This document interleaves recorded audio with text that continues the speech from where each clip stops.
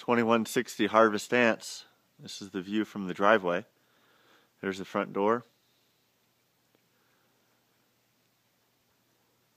This is looking north.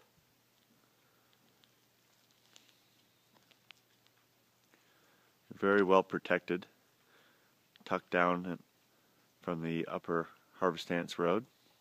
There's the driveway coming down to the garage. And again, you can see the Warshaw property barely skylining to the south on lot 56. That's the only other improvement you'll see.